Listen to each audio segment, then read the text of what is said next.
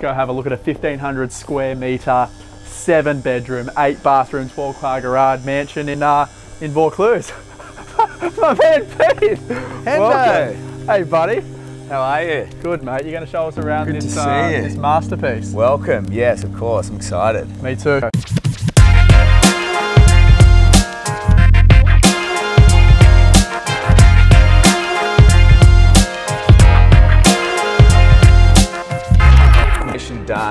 Build this house. Right. And a lot of it was renew- was uh, renewed. You know, they, they reused, recycled a lot of the materials, such as the sandstone you'll see throughout the house. Right, and that wall of sandstone goes from the top all the way to the bottom, all the way through, right? Correct. You'll see a sandstone theme throughout. Sandstone wood, very Australian. Right, very. Yes. Okay. The runway here, Jack, yes. puts you to puts you to the border of the property. All so right. they've built all the way over there, which frames us here right in front of the bridge. And that's what you're paying the 30 million for. Correct. Right. Correct. As you look back at the house as well, you get a really, really good view of the wet edge pool. And the house is over four levels. Correct. Right. So if you work your way up from the bottom, which we'll do, garaging, entertainment, more bedrooms, cinema, this level for entertaining, then bedrooms upstairs as Right. well. Mate, uh, just did a, a bit of a fun video then with the boys from Badger Fox, Pete and Alex, selling a $30 million home in Vaucluse. So we went and shot a bit of a, uh, a bit of a video there to show people what 30 million buys. And now we're uh, back to the office and back to the grind.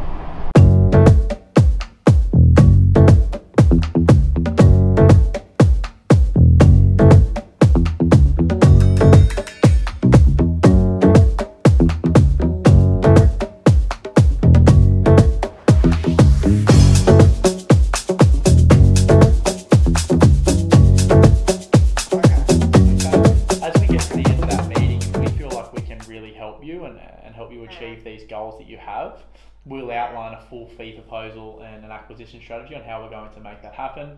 And we send that across to you for you to digest and, and, and obviously you make the most informed decision on which way you'd like to go. Um, Okay. In terms of on a daily basis, what it would actually look like having a buyer's agent work with you, you've obviously spoken to buyer's agents in the past. Do do you know what that would actually look like? So, if we were to start working together, essentially what would happen is you'd have myself, you'd have Jeremy, and the team here. There's roughly twelve of us. We'd be uh-huh. working for you every single day of the week. And what we're doing is, is bringing every opportunity to the table that really ticks your boxes. Okay? We'll do all the due diligence on those properties. We make sure they are as they seem. And then if we believe they're worth your attention, we'll, we'll make you aware of them.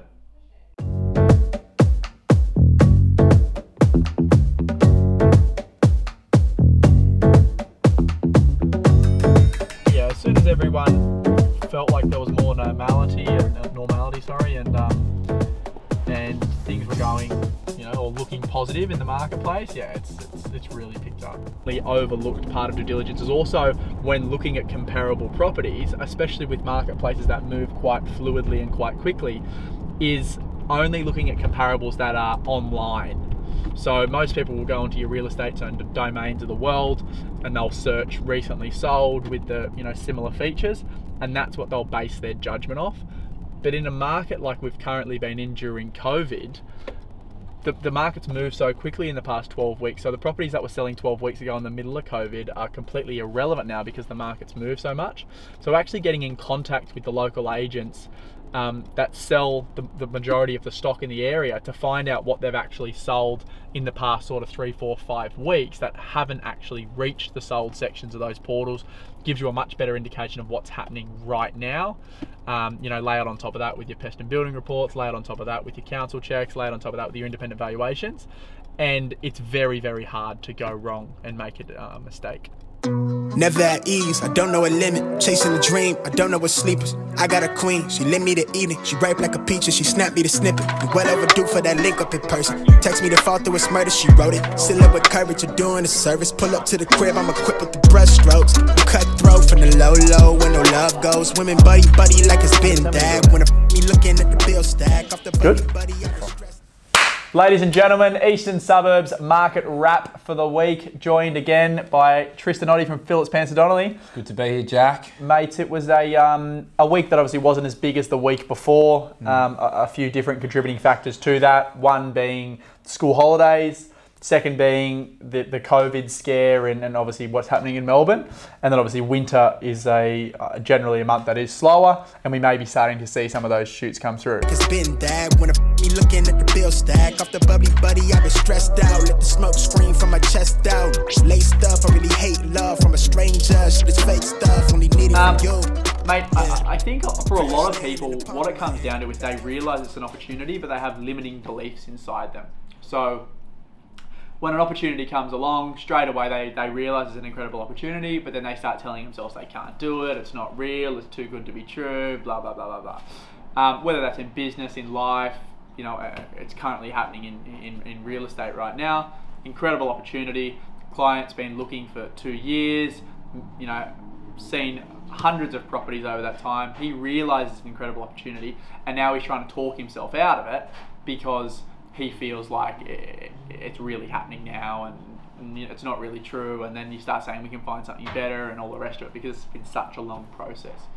So, um, I mean that that's I guess that's what separates the people that make something of themselves and that do things and the people that don't. They're exactly the same people. They're, a lot of them got exactly the same opportunities. One takes advantage of those and one doesn't take advantage of them. And, and obviously the results speak for themselves. It's been that when I me looking at the bill stack off the bubbly buddy, I've been stressed out. Let the smoke scream from my chest out. Laced up, I really hate love from a On our way to stranger. Coogee. fake stuff, only need it from you. Inspection there. Um, land in the big day today, actually. Then later on today, we're meeting with um, a business partner for some very exciting expansion plans. Um, and mate, just you know, just all in all, happy happy days. Had a deal fall over during the week.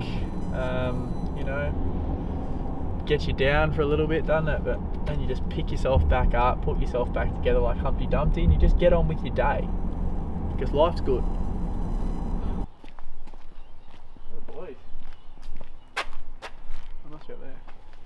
Like that, that's cracking. Look at that shit.